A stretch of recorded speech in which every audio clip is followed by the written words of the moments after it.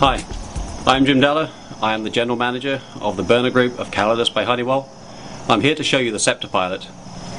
This pilot is designed to be robust and reliable under every operating condition. The pilot has a high energy spark ignition, it has a waterproof flame rod, and both rods are removable and installable while the pilot is installed in the burner. In addition, the electronics for the ionization rod and the ignition rod are included here on the pilot.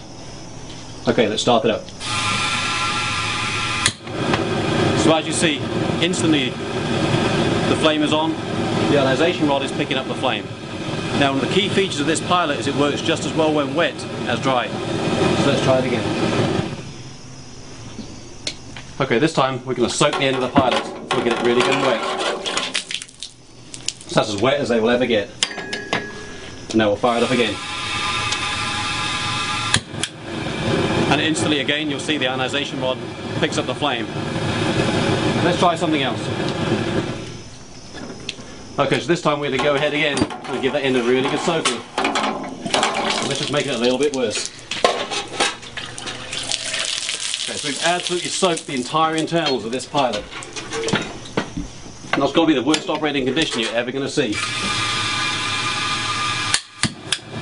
And again, instantly the ionization rod is picking up the flame with no problems.